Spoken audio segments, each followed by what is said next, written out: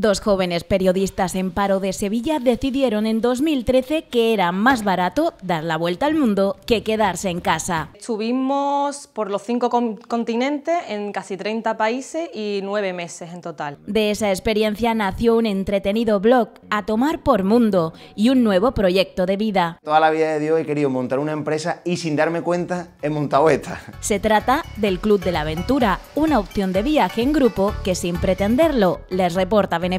El Club de la Aventura nació porque muchísima gente nos seguía y veía que le gustaban muchísimo nuestros viajes y nos decían, pues queremos viajar con vosotros. Y desde el 2015 ya llevan nueve expediciones de viajes con emociones, en las que los viajeros se conocen al empezar la aventura.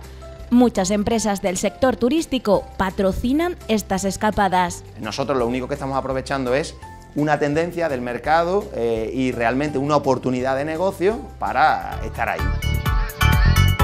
En Jeju y viendo una de las siete maravillas naturales del mundo. Empezaron los patrocinadores, empezaron empresas queriéndose anunciar en nuestro blog y poco a poco se fue convirtiendo en nuestro pilar, nuestro pilar fundamental de vida.